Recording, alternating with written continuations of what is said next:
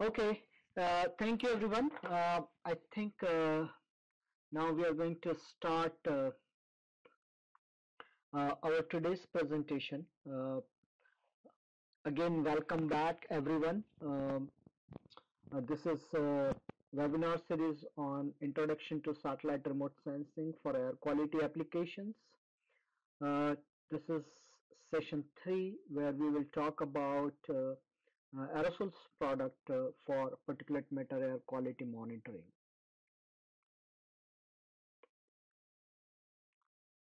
The outline for today's talk is uh, first I will introduce some of the terminology uh, or the parameters which we receive from the satellite.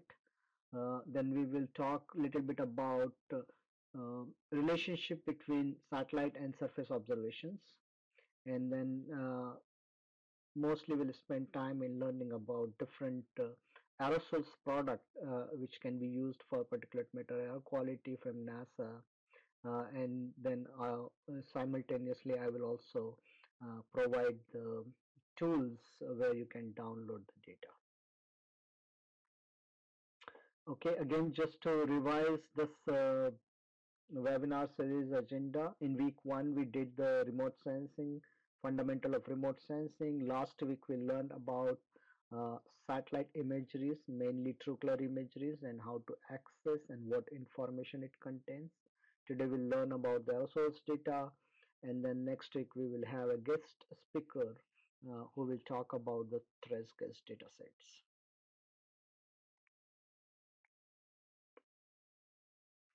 Okay, so I believe most people or everyone is familiar with the PM2.5. PM2.5 is a mass concentration of particle uh, less than 2.5 micrometer in aerodynamic diameter and they are measured at the surface. So these are the nose level air pollution which we call. Uh, they have impact on health, visibility and many other sectors. So in this example, uh, basically what we are trying to look the relationship between visibility and PM2.5. Uh, I'm just trying to show you how does it impact the visibility. So this is picture taken over Pittsburgh uh, in USA and the picture is taken at the same location at the same time of the day but on two different days under two different uh, PM2.5 uh, loading in the atmosphere. So on the 1st July 2nd 2001 uh, the picture is taken when PM2.5 was measured as 45 microgram per cubic meter and you can see image is very hazy things uh, are not visible in the image. On the right side uh, July 18 when PM2.5 was measured at 4 microgram per cubic meter and we can see the impact very well. Uh, the visibility is very high. Uh, we can things see things very clearly. So this is one of the example where PM2.5 mass concentration in the atmosphere does impact the visibility. Uh, here is another same example top where we have high loading of aerosols or PM2.5 in the atmosphere. And on the bottom uh, you have very clean condition and this picture is particularly from Singapore in Asia. Okay, so the quantity which we get from the satellite is not PM2.5. We get something called aerosol optical depth. Uh, it's also called aerosol optical thickness. Uh, for satellite community, both uh, these term AOD or AOT are same. Uh, these are optical measurement uh, of light extinctions uh, used to represent um, aerosol amount in the entire column of the atmosphere.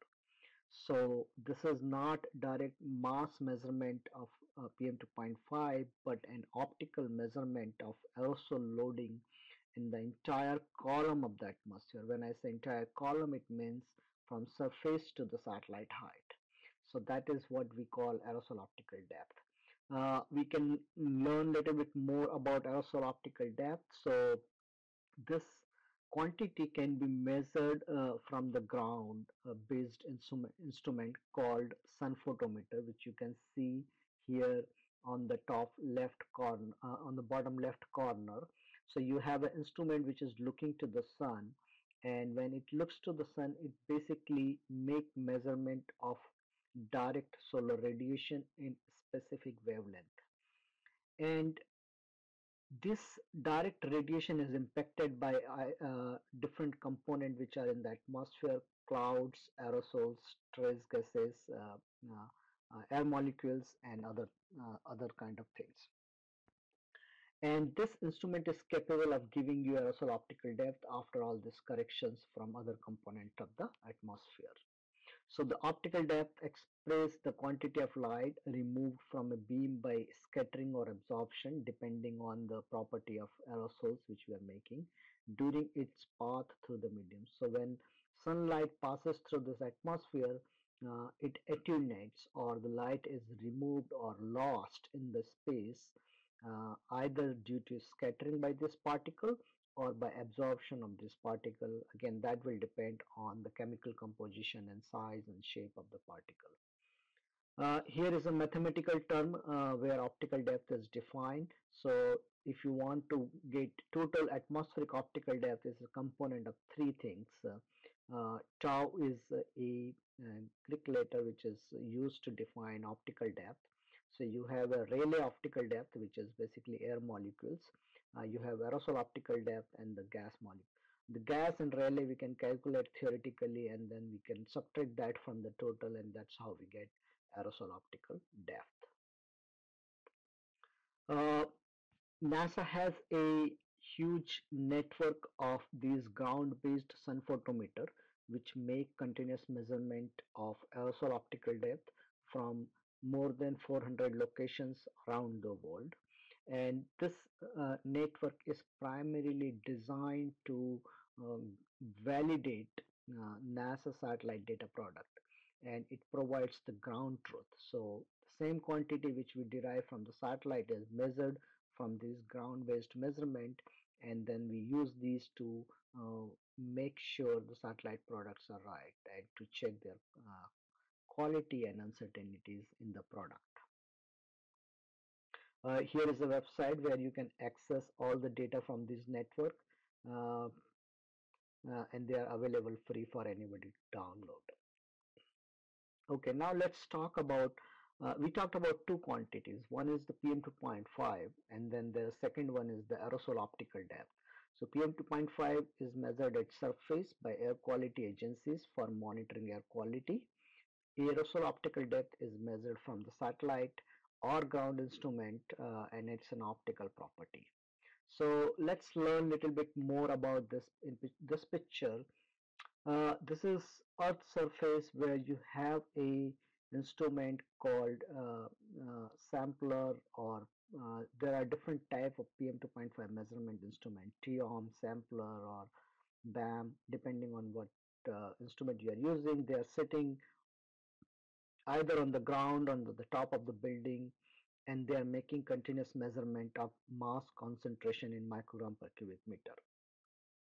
A, for standard, uh, they are dry mass uh, in this particular size range.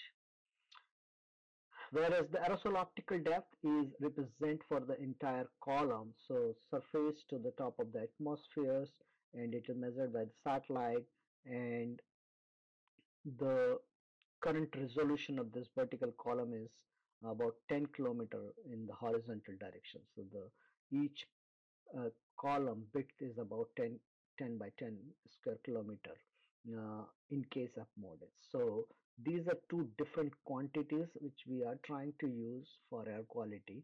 Uh, one is directly related to air quality at the surface and one is indirectly related to air quality at the surface and we'll see how they are related but this is in uh, theory how they are same or different. Uh, here is another uh, some more words on the similarities and difference between these two quantities. Uh, from the satellite you get aerosol optical depth, it's a column integrated values, it's an optical measurement, it's a unit less quantity, that's very important to note. Uh, and this aerosol optical depth is a function of sage shape of the particle, size of the particle, type of the particle, number concentration and the wavelength at which measurements are made. So these are the component which actually controls the aerosol optical depth in the atmosphere. On the right side, uh, you have an instrument which is making PM2.5 mass concentration. It's a unit of volume uh, aerosol particle for less than 2 mic 2.5 micrometer in aerodynamic diameter. This is something uh, defined by the air quality community and it is represent mass loading at the measurement height 10 meter 20 meter or whatever height this instrument is located so it you can consider this is a more like a point measurement from the surface whereas the satellite is giving you much more bigger picture uh, of what's happening in larger area and larger column of the atmosphere. Now in last one and a half decade there have been many many studies uh, which uh, demonstrate that the two quantity aerosol optical depth and PM2.5 or PM2, PM10 uh, have some kind of a relationship. And these are the two scatter plot from the earliest study in 2003 uh, on the left you see aerosol optical depth on x-axis from the satellite and the PM10 uh, sorry in this case aerosol optical depth is measured from the aeronet and then PM10 measured at another ground location. This is measurement from the northern Italy.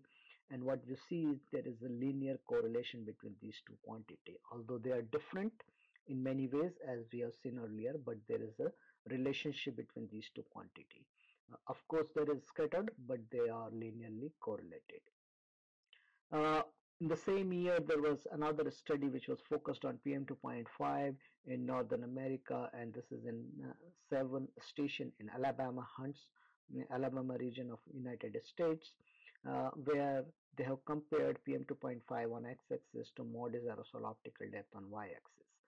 And again, you can see the large scatter between these two quantity, but they are linearly correlated and they have uh, so these analysis suggest that there is a potential of using aerosol optical depth to obtain PM2.5 values under certain condition and under certain, certain assumptions. Uh, these are the first studies since then uh, there have been hundreds or I would say thousands of studies published since then uh, which demonstrate and refines the methods over the time and I'll show a little bit more on that. So this is another uh, study uh, and which basically demonstrate that the relationship which we have seen in earlier plot in terms of the correlation coefficient between aerosol optical depth and PM2.5 does vary in space and time. So this is over entire United States. All these locations are EPA ground monitor locations and the they are color coded as a linear correlation coefficients between aerosol optical depth derived from the satellite and PM2.5 measured from the surface. What you see here is on the eastern US, uh, the correlations between these quantities is very high. And as you move to the Midwest uh, and in West uh, US, the correlation has gone down. And this suggests that the AOD PM2.5 relationship does depend on many different parameters. Number one is the meteorology, local meteorology, the boundary layer height, temperature, relative humidity, other factors. Second, it also suggests that the uncertainties or the quality of aerosol optical depth retrieved from the satellite also significantly impact their relationship because uh, we know for sure that in the eastern US, MODIS dark target aerosol optical depth does perform well when we compare with aeronet measurement. Whereas in the west, uh, it does not, and that is related to the surface characterization of uh, in the algorithm and which we can talk a little bit uh, more uh, when we do some advanced training or advanced topic. but this is uh, the take home message is that the relationship between AOD and PM2.5 does vary in space and time. We have seen this relationship as a function of different seasons and it does vary. Now that's very simple uh, method which we have seen just taking two quantities uh, deriving a relationship called regression equation. So but over the year there have been number of methods uh, developed more sophisticated methods uh, for uh, which provide better estimation of PM 2.5 uh, so here I have listed just four of the methods there are many more actually people have done but these are most popular um, among those so the two variable method is easiest to do the one which we have just seen in previous two plots uh, where you have AOD and PM2.5 and you make a relationship which is a simple regression linear fit y equal to mx plus c type of where you have a slope m and an intercept c. Uh, it works in many cases, it does not work in other cases uh, and again it depends on many other factors. Uh, then you have a multivariate method where you just not only include the satellite derived aerosol optical depth but you include other meteorological parameter which governs the PM2.5 mass concentration at the surface. Uh, you can go beyond the simple linear regression to more uh, sophisticated nonlinear statistical modeling like artificial intelligence or genetic algorithm where you can treat this individual variable in more more non-linear relationship with uh, PM2.5 and often they produce better result than simple linear regression equations. Uh, there is another method where you actually combine the uh, chemical transport model derived vertical profile with satellite derived aerosol optical depth and the combination provide you a surface PM 2.5 value at each grid point on the earth surface. The advantage of this method is basically you don't need surface monitor to calibrate whereas in all this statistical modeling you need some kind of a surface measurement of PM 2.5.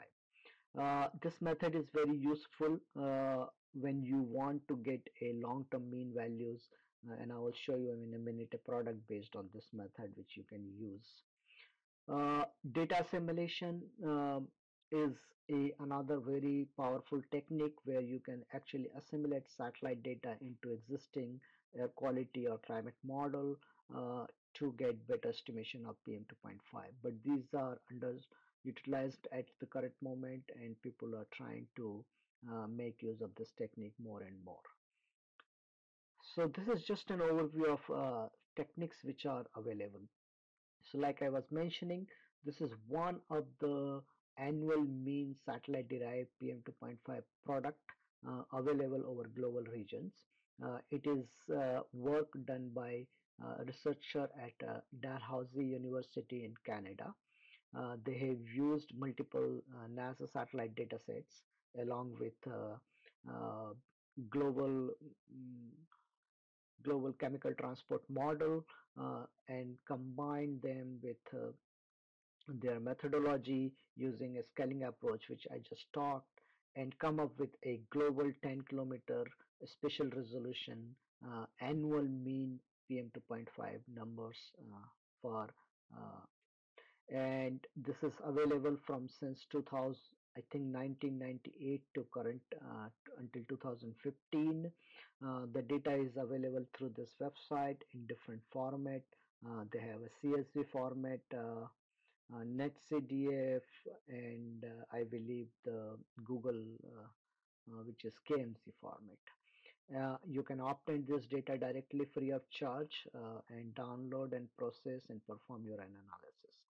Uh, they also have a paper which uh, is describe the methods and uncertainties and validation results uh, from this data product.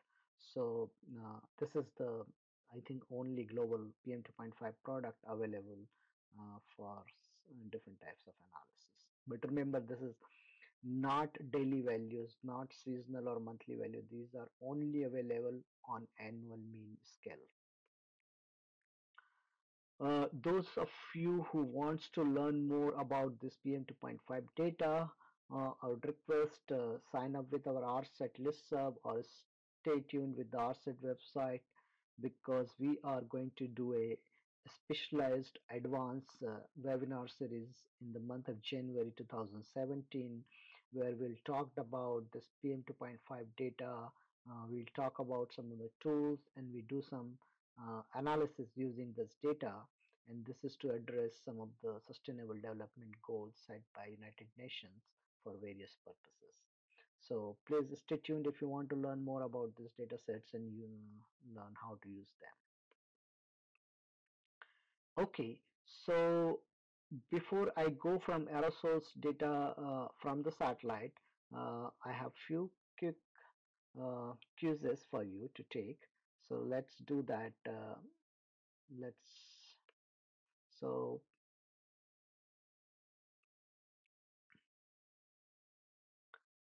the first question is aerosol optical depth represent aerosol loading at the surface true or false second question is PM2.5 mass concentration is represented in microgram per cubic meter whereas the aerosol optical depth is and the third question is AOD PM2.5 relationship varies in space and time, true and false. And these are just based on what we just talked in last 15 minutes. So just take 30 more seconds to respond and then we will move forward with this uh, question answer and with the presentation.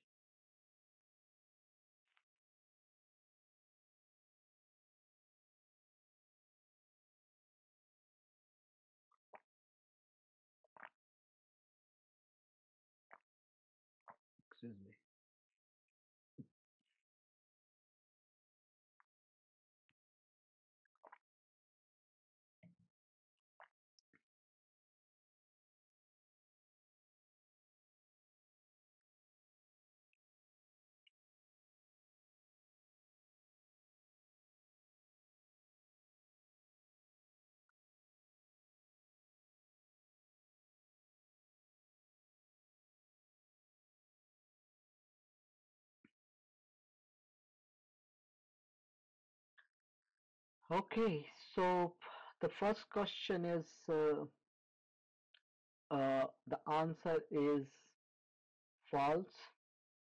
So about 67% people have responded correctly. Uh, so aerosol optical depth does not represent aerosol loading at the surface. It represents aerosol loading in the entire column of the atmosphere. Uh, so please uh, that's an important aspect of satellite data uh, before you can use it for satellite air quality.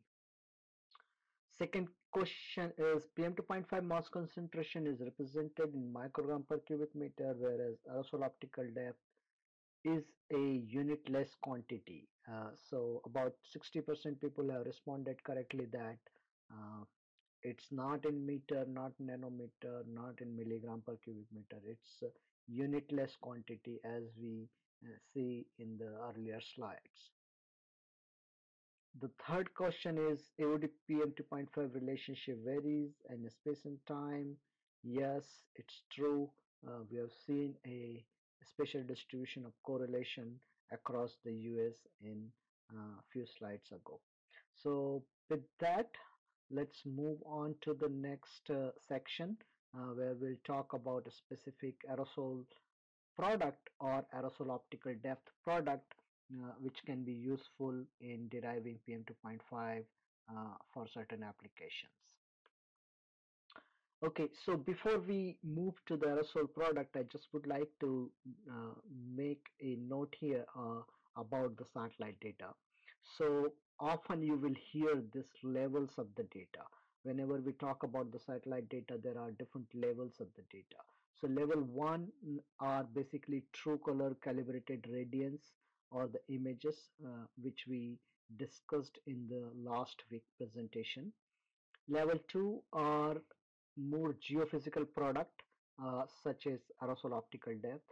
Uh, they are derived using level 1 product uh, along with algorithms and radio transfer calculations and then the level 3 are basically derived from the level 2 they are more averaged product on spatial and temporal scales so uh, level 2 MODIS aerosol optical depth is 10 kilometer resolution whereas level 3 is at 1 degree spatial resolution. So you average over space.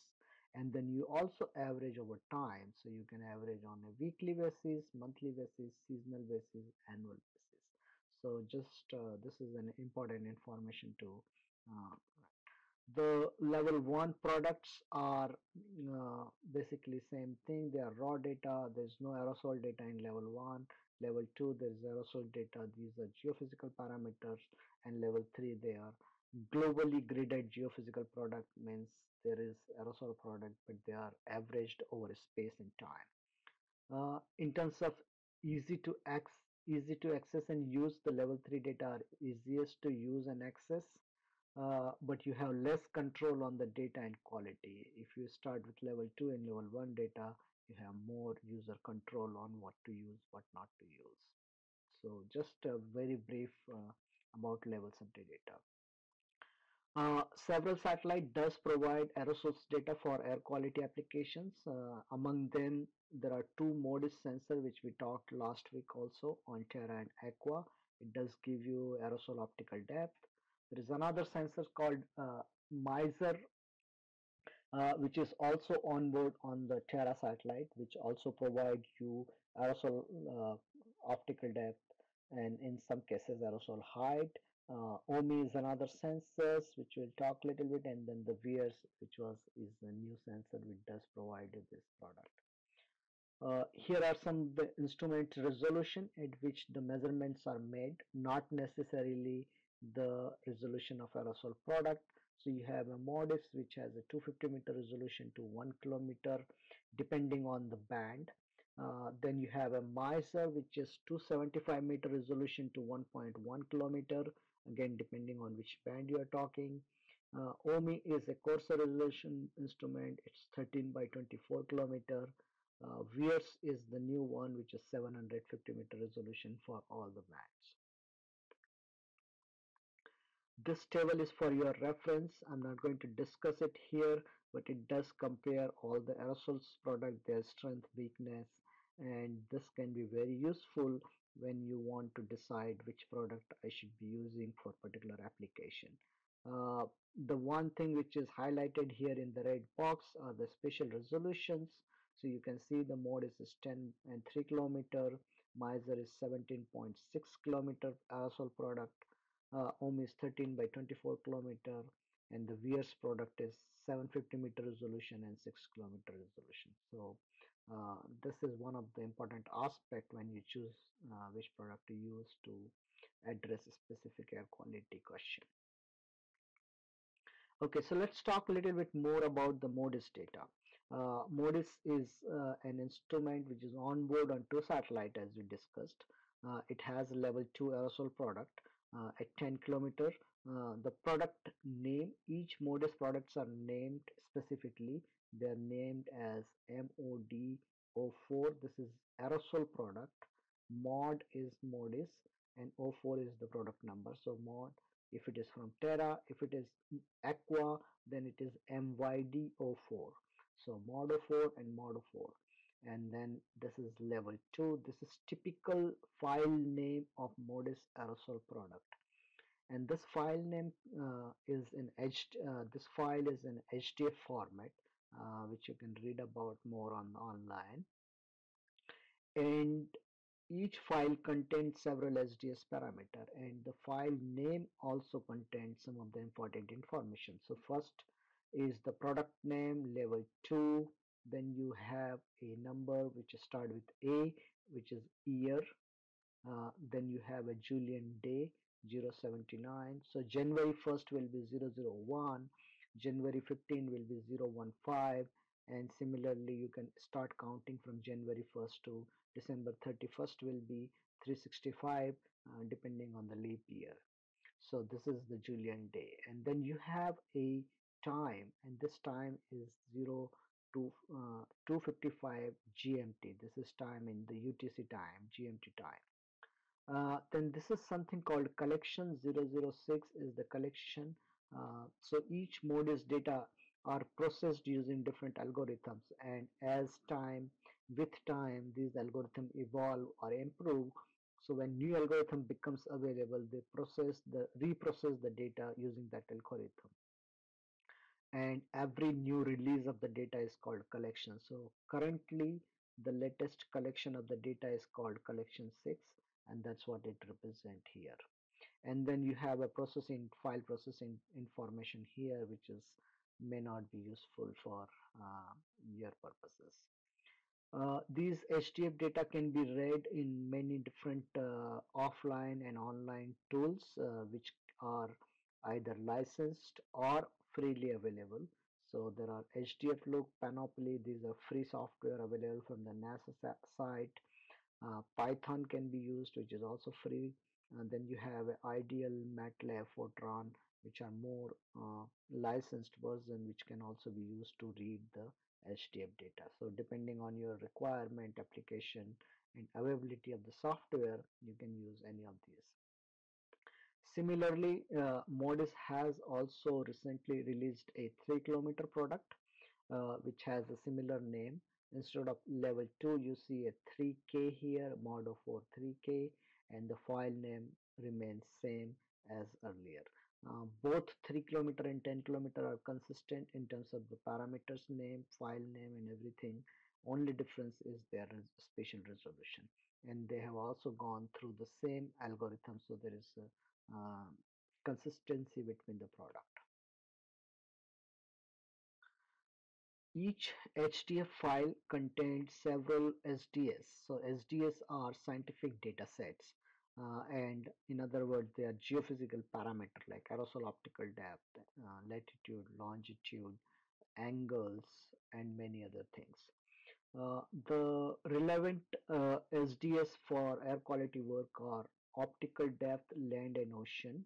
Uh, this is retrieved using dark target algorithm uh, only for high quality. So each pixel which we retrieved from the satellite uh, is associated with a quality flag uh, which depends on the algorithm and absorbing uh, and observation conditions. So uh, over land quality flag 3 is recommended to use. Over ocean uh, modis dark target algorithm team recommend using quality flag 1 2 and 3 uh, again this product is available in 10 and 3 kilometer. Uh, there's another product uh, and this dark target product is available over only vegetated surface and over water. So if surface is very bright such as Saharan deserts or uh, other deserts of the world then this dark target product is not available uh, to get the value over bright surfaces there is another product called deep blue aerosol optical depth. And in this specific SDS uh, we have combined dark target and deep blue uh, product at 550 nanometer. And this is available uh, using this you can access this particular parameter using this SDS uh, this product is only available at 10 kilometer spatial resolution because deep blue does not provide 3 kilometer product so that is why it's only available at 10 kilometer. Uh, then there is a quality flag associated with this uh, which you can use uh, if you are trying to use this specific data sets. Uh, you can get more information about this product by this research paper which explain this product in much more great detail here are some of the website where you can access modis data the LAADS website the first one modis atmosphere site has RGB and level 3 data product and imageries. Uh, Giovanni is another tool uh, where you can access and analyze uh, MODIS level 3 aerosols data. And if you want to learn about the specific algorithm of the data sets, then the two algorithm, dark target algorithm has a website here, and then the similarly deep blue algorithm website is there. So again, if you want to, if you're interested in specific data, you can learn about more about this data by going and reading uh, stuff which are posted on this website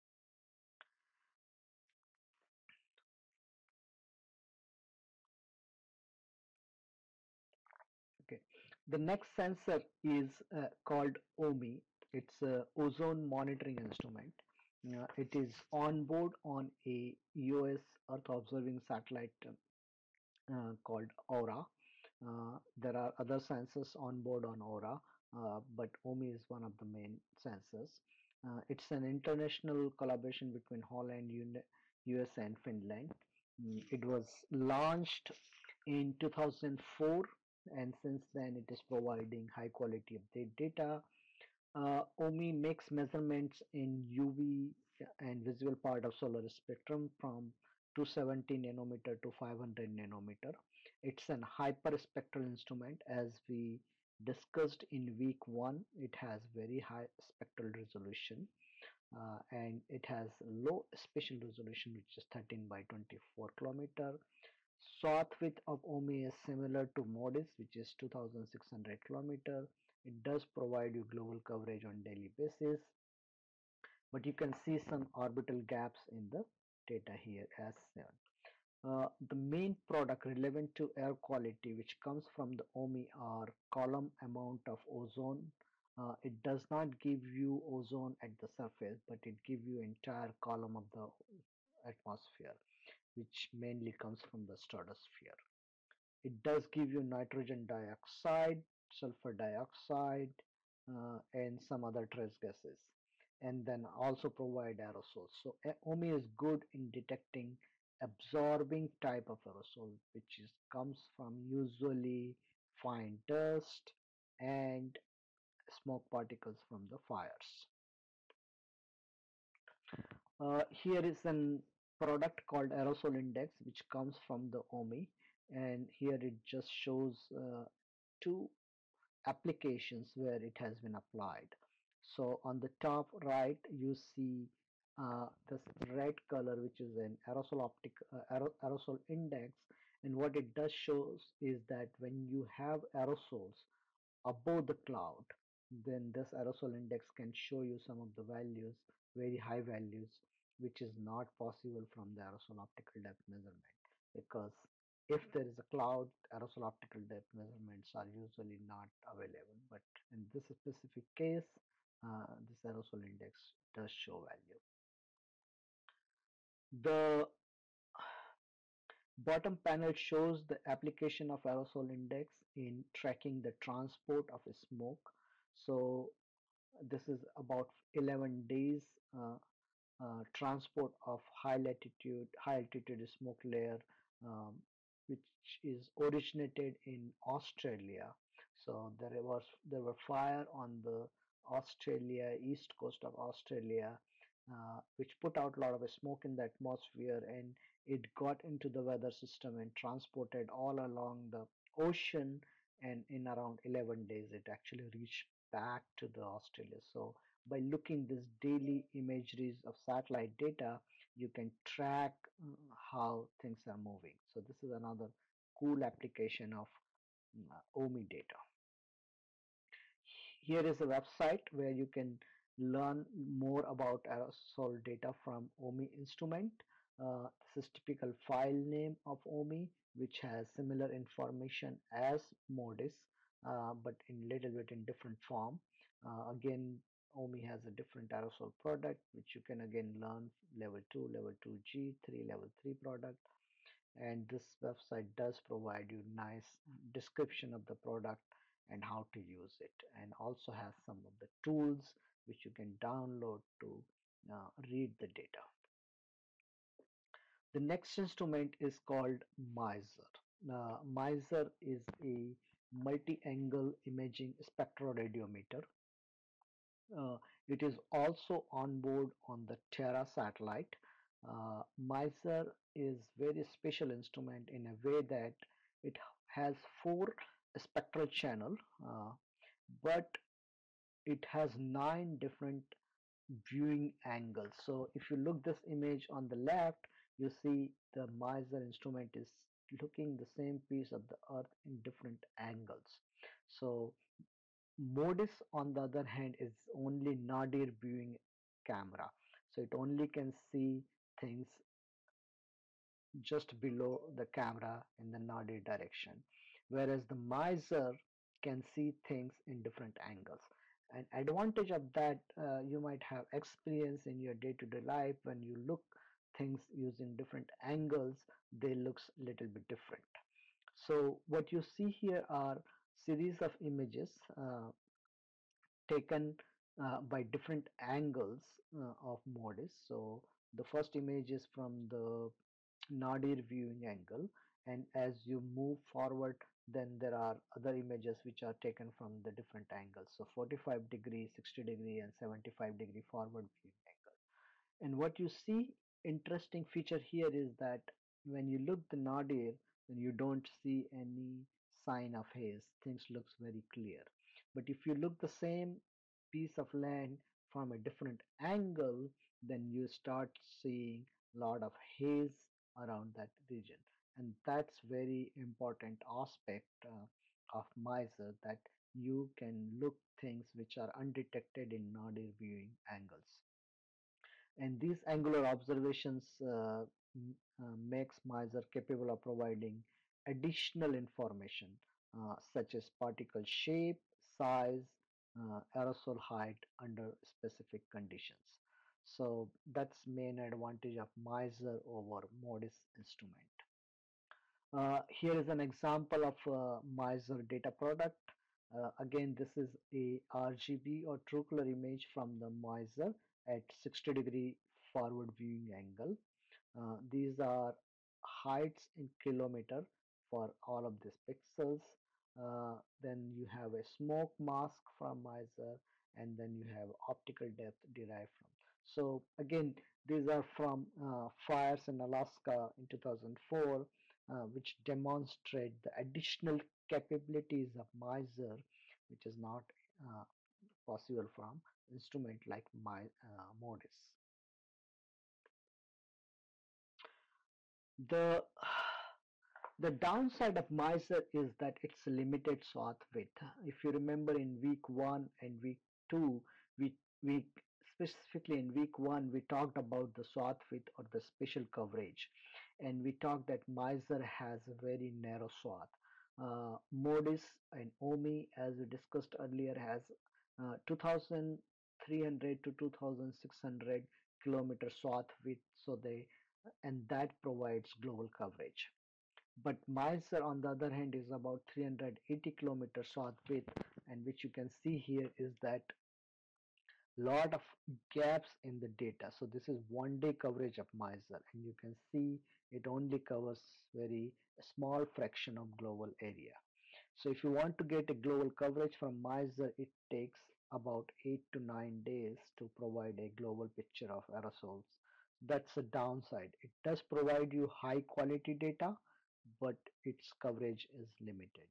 So that's a, a main limitation of using MISR data for day-to-day -day air quality monitoring.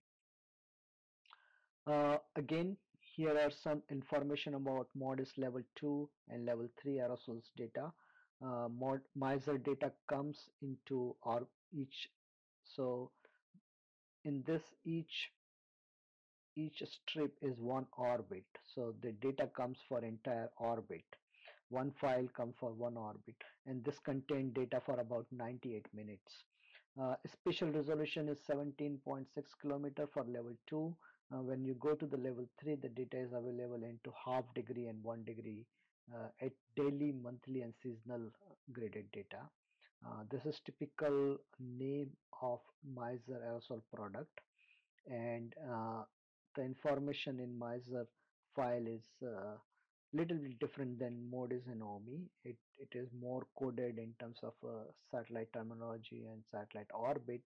Uh, but again, if you go through this website, uh, there is a very nice tutorial on how to use MISR data, how to access.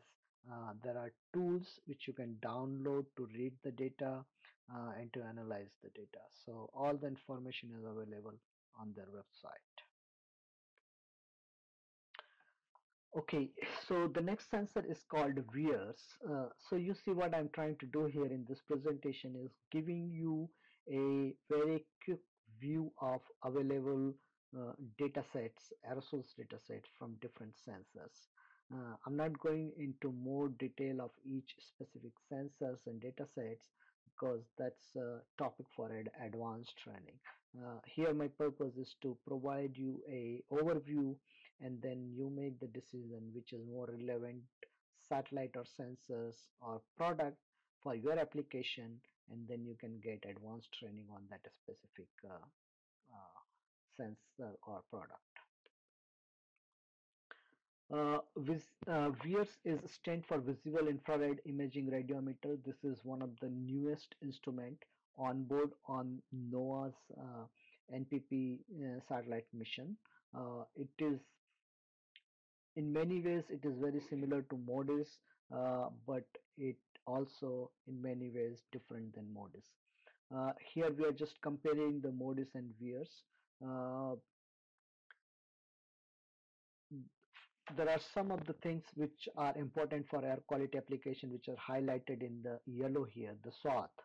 Uh, MODIS is 2300 kilometer whereas the VIIRS is about 3000 kilometer and we have seen that in the previous week and I'll show you again that because of this larger swath width uh, does provide complete global coverage without any orbital gaps which we see in MODIS data.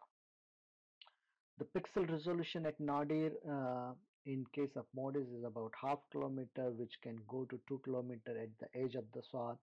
Uh, VIIRS does some kind of averaging sampling uh, which does not allow that pixels to grow that big. So the VIIRS uh, pixel at the nadir is about 750 meter resolution which can grow up to 1.5 kilometer at the edge. Again, here is the example of coverage. Uh, MODIS files comes into 5 minutes of the data which does cover larger area. Uh, whereas VIIRS data comes uh, from this small files of 86 seconds uh, and does cover larger swath width but smaller uh, area. So these are the just in order how the two data sets are arranged. Again, this slide we have seen in previous weeks, uh, basically trying to show that because of the larger swath, uh, VIIRS does provide you global coverage without any data gaps whereas the MODIS does have these data gaps the blue color here uh, which is not possible due to the limited swath width.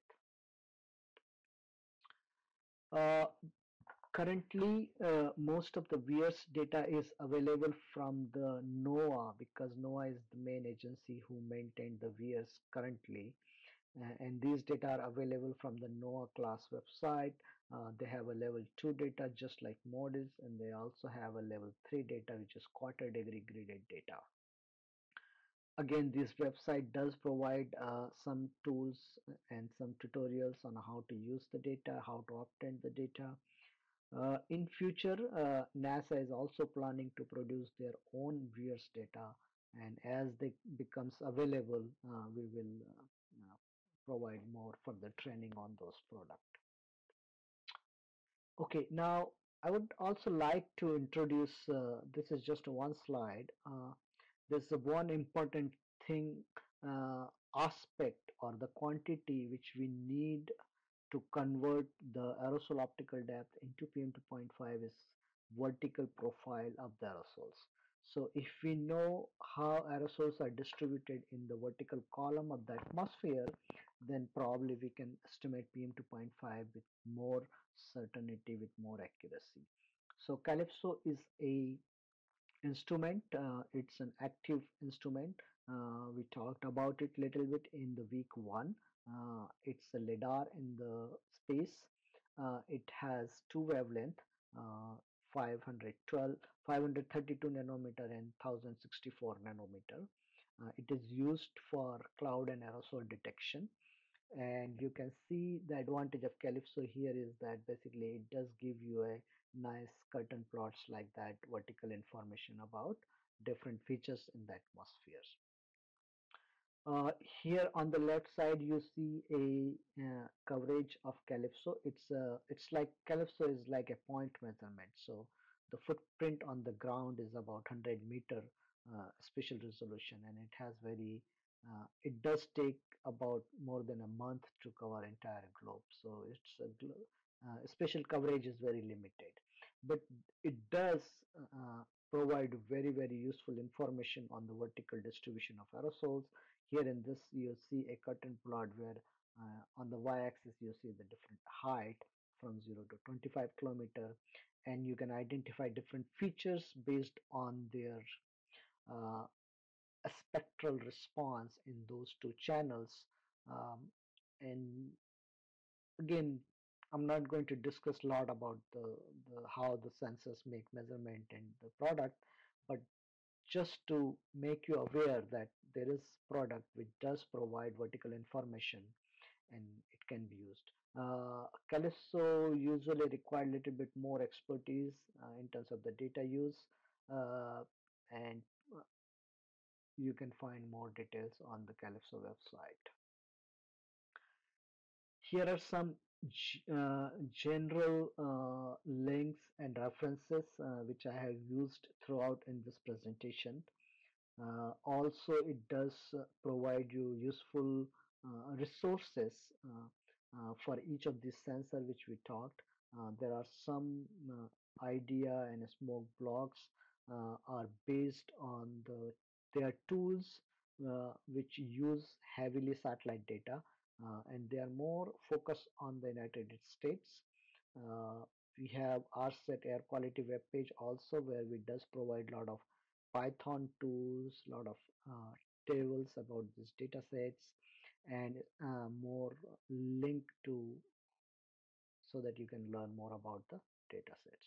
Uh, with that, uh, I think I'm done. There is again no assignment this week uh, as we have done. Uh, next week we have a guest speaker, Dr. Bryan Duncan, uh, who is also scientist here at NASA Goddard. He will talk about the trace gas product, specifically NO2, SO2, and CO product, and will show some of the applications, uh, how to use it. And as always, again, all the materials, uh, recording uh, from this webinar series is available uh, from this website. Uh, we also have a contact details. If you have a technical question, please send me an email.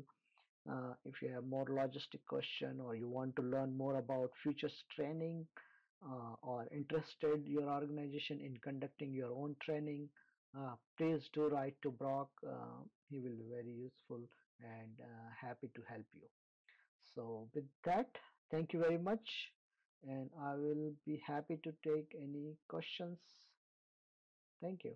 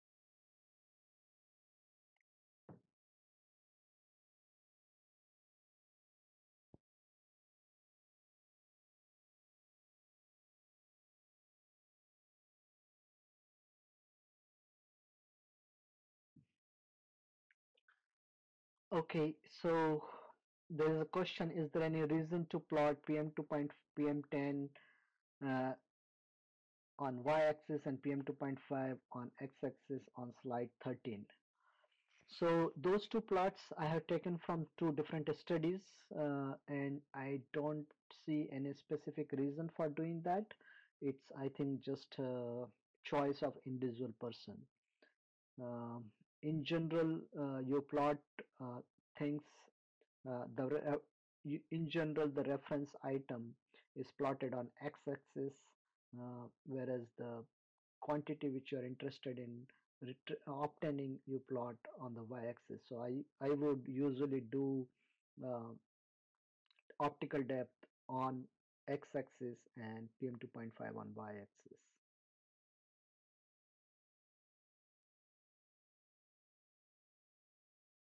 Okay, so does the MISR get observation for all the different angle at the same time? Uh, okay, so this is a little bit tricky because it does get uh, simultaneous measurement at all the angles, but in order to cover the same area, uh, it does scan for different angle and that can take some time but that scanning time is not very large. I think I believe it's uh, in order of seconds. So within uh, within within less than a minute or so, it does a scan for all nine angles.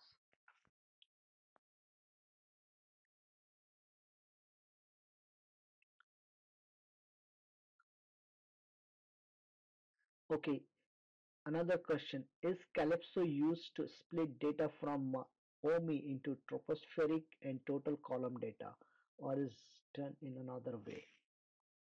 Uh, okay, so you can use CALIPSO for those kind of analysis and research. Uh, we don't have any specific product uh, based on that kind of methodology. Uh, again, it will depend on your application and what parameter you are interested in. Uh, for aerosols, uh, it it may it may be possible up to some extent uh, in a specific case under certain scenario but not the always not always. So probably in cases like volcanic eruption probably you can apply those kind of things uh, but not in general because their uh, coverage is very very different. Can we estimate pm 2.5 without ground monitoring station Okay, so the one of the method which I discussed and for which the data is also available from the Dalhousie University, that method does not require PM2.5 at the ground. Uh, it's combined satellite data with the model to get PM2.5. Uh, but the problem with that method is uh, since we don't have ground network available, we don't know what's the quality. Uh, the limited validation is done using annual mean numbers so it's good for annual mean numbers uh, but uh, there are uncertainties in that product.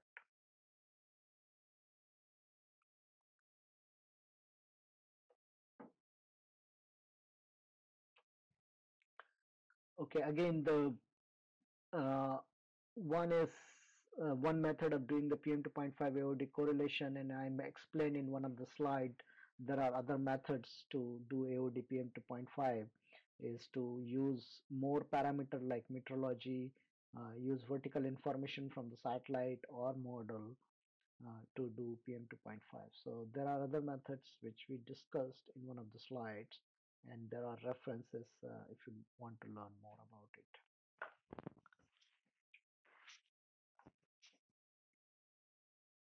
Okay, uh, another question about the lidar. Is the data available from CALIPSO? Yes.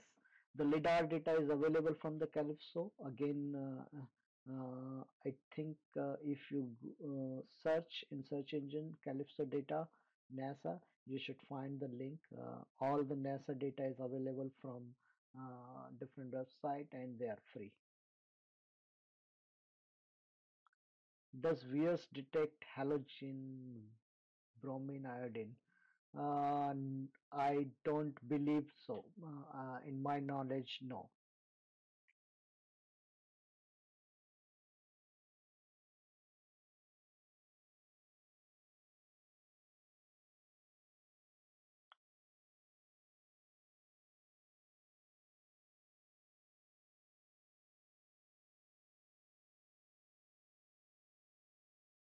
Okay since MODIS does not report data in different angle as MISR how reliable actual decision making okay well so my Modis has other ways to do. So if you notice, MISR has only four spectral bands in which it make measurement, whereas Modis uh, has 36 different spectral band.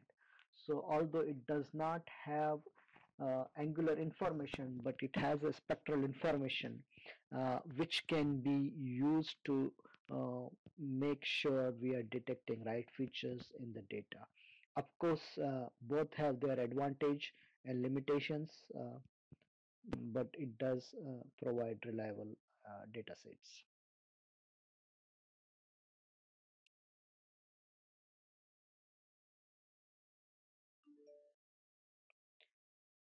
Okay, there is a question about uh, we have internet problem. Yes, so the recordings will be available and from the ARSET website, which I shown in the last slide, and you can do that uh, at your convenience.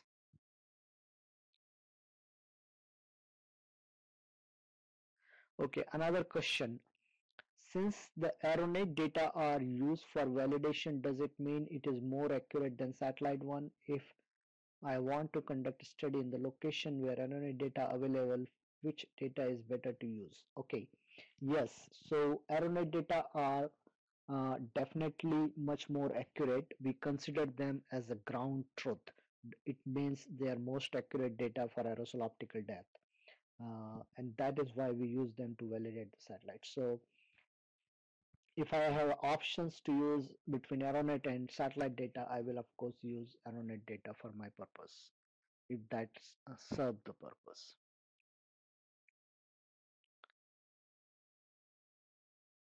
What are the basic modification of collection 6 AOD data product?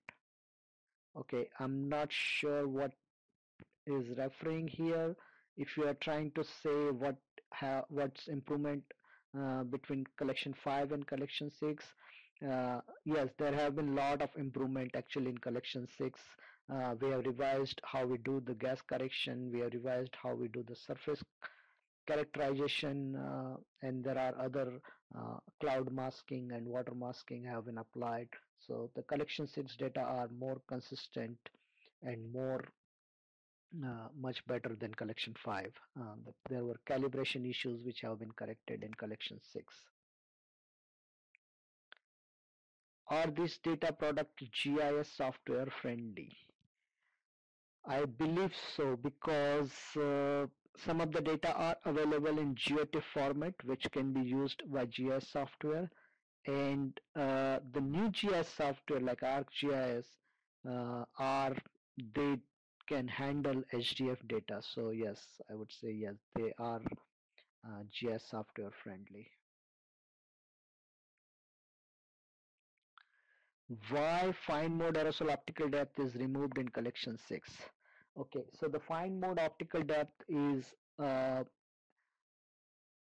so what we provide in collection 6 is called fine mode fraction. And if you multiply that with the fine mode uh, total optical depth you get fine mode optical depth. So that was just an extra parameter which was there. Second uh, since we have not done any validation of fine mode aerosol optical depth or in, in other words we don't have confidence in using that over land and that's another reason we have removed uh, the fine mode aerosol optical depth over land from the collection 6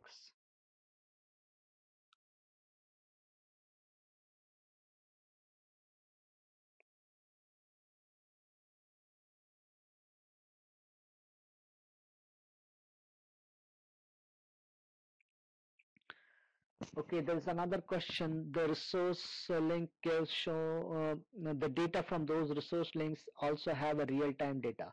So to get the real-time data, uh, I think uh, in week two last week we uh, have gone through exercise called Worldview, uh, and the Worldview provide near real-time data. All the link which I have given today uh, are not real-time data; they are archived data. VIIRS recording the activeFire. Yes, Weir does records activeFire and that data is also available uh, through Worldview near real time and through other sources.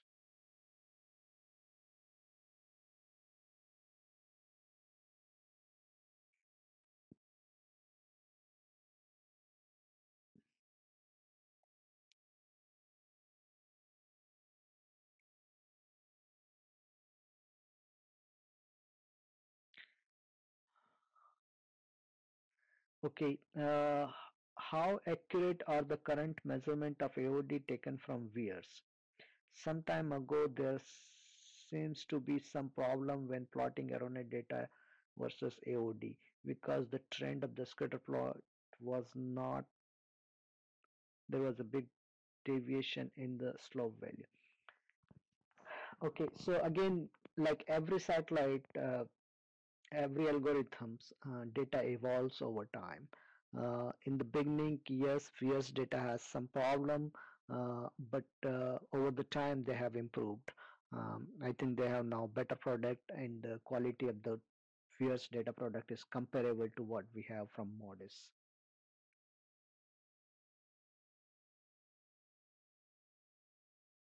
Is MODIS data is reliable over uh, hilly regions or high I would say high altitude regions uh, with dark forest cover uh, so there not have been many uh, validation studies where we have compared the data over high latitude stations in most cases it looks good uh, but may vary depending on how complex the topography is. Uh, there have been some studies in the US and other places, uh, so probably it will also depend uh, how complex the topography is.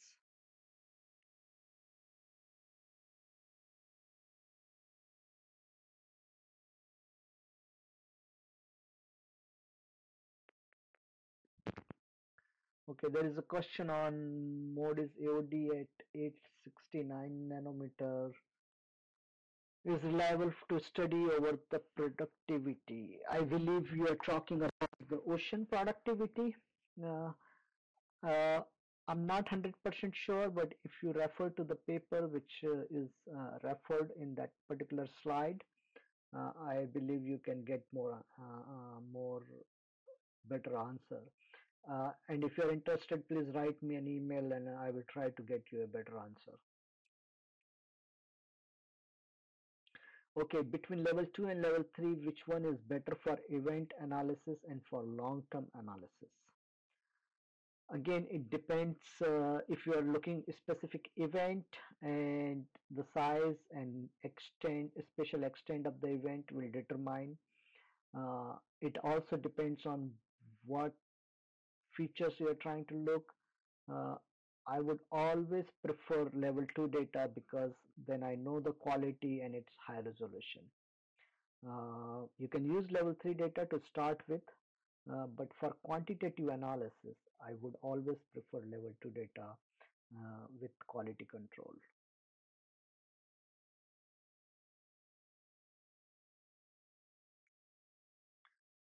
Okay, I think uh, that's all I have and I don't see any further question. Uh, so uh, uh we have uh, Brock Blevins who is uh, helping with this webinar series. Uh, he is training coordinator. Brock, do you have any any other question from the audience?